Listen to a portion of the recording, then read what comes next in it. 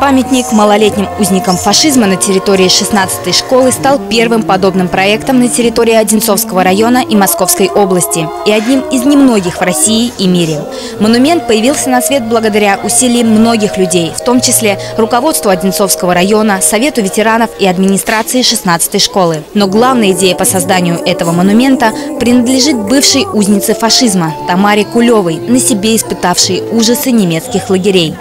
Четыре года понадобилось для того, чтобы замысел воплотился в жизнь. Наконец, сегодня эти долгие четыре года, которые мы с вами ждали, свершится.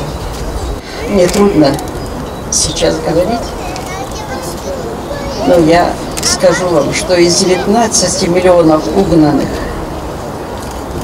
в логово фашистов, самое логово фашизма, 11 миллионов не вернулось. Вы думаете только в эту цифру. 11 миллионов. Именно Тамаре Кулевой вместе с другими узниками фашизма предоставили почетное право открыть памятник.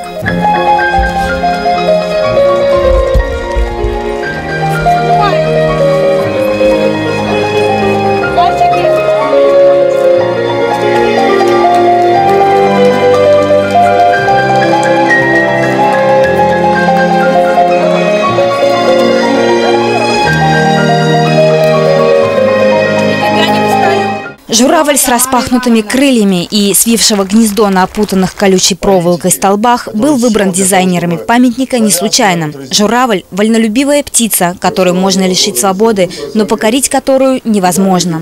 В ходе торжественной церемонии участники почтили память погибших в фашистских концлагерях минутой молчания, возложили к подножию цветы, прочитали стихотворение.